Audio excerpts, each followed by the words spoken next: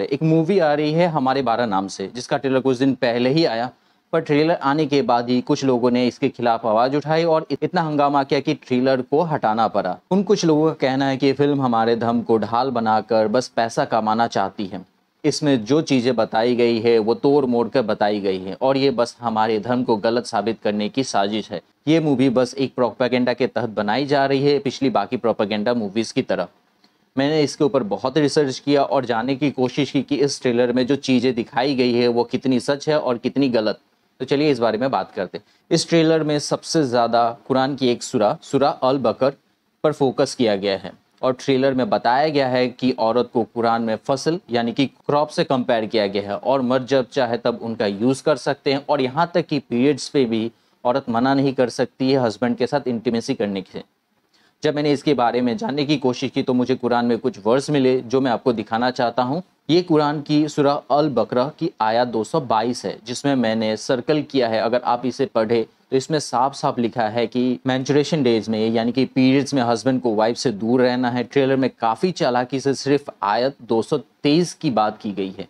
उससे पहले किया आयत 222 में जो लिखा है, वो नहीं बताया गया है। तो ट्रेलर में ये जो कहा गया है कि ड्यूरिंग पीरियड्स वाइफ को हक नहीं है हस्बैंड को इंटीमेसी करने से रोकने का, वो बिल्कुल ही झूठ है।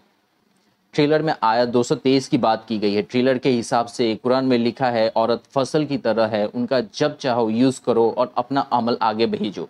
और इस चीज़ को ट्रेलर में बहुत गंदे तरीके से बताया गया है। मैंने इस आयत को भी पढ़ा ट्रेलर में पूरी आयत नहीं बताई गई है। तो मैं इसकी और जानकारी लेने के लिए एक स्कॉलर के पास गया। तो उन्होंने जो मुझे बताया, मैं आपको बता रहा हूँ। उन्होंने बोला कि देखिए, वहाँ क्या लिखा है और हम उसको क्या समझते ये हमारी मानसिकता को दर्शाता है।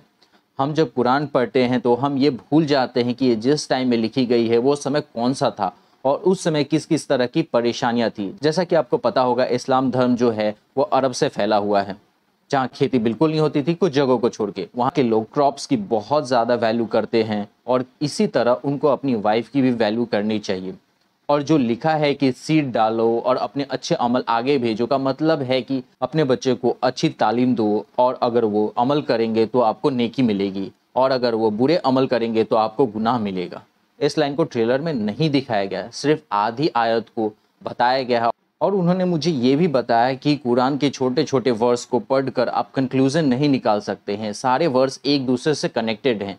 जैसा कि ट्रेलर में वर्ष 223 को कोट किया है, लेकिन वहीं 222 को नहीं किया गया है। दोनों ही कनेक्टेड है। देखिए, अगर आप एक पूरी बुक के एक या दो लाइन को उठाकर उसको तोड़ मरोड़ को पेश करेंगे तो फिर ऐसे में और भी जो दूसरे जो रिलीजन है, उनके भी जो स्क्रिप्चर्स होते हैं उनको भी जो हॉली बुक्स है, उनसे भी बहुत सारी चीज़ें ऐसी हैं कि जिनको अगर आप एक दो लाइन अगर आप उठा के पढ़ेंगे तो उनके जो मायने हैं वो बदल जाते हैं। आगे ट्रेलर में बहुत वायलेंस दिखाया गया और कहा गया है कि मर्द सुप्रियर है औरतों से और औरतों को बस उनका हुक्म मानना चाहिए, जो कि बिल्कुल गलत है। वो इस्लामी है जिसने माँ के कदमों के नीचे जन्नत बताई है। उन्होंने फिर मुझे कुरान और हदीस की कई सारी वर्ड्स को दिखाया, जहाँ लिखा है कि वायलेंस बिल्कुल परमिसिबल नहीं है। उन्होंने ये भी कहा कि वो खिलाओ जो तुम खाते हो, उन्हें वो कपड़े दो जो तुम पहनते हो।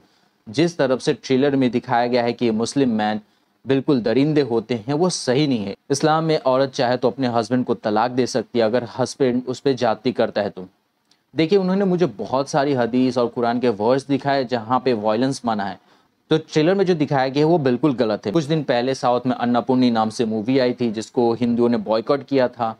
मैं दोनों ही मूवी के खिलाफ हूँ। मूवी को सभी रिलीजियस सेंटिमेंट को ध्यान में रख के बनाना चाहिए।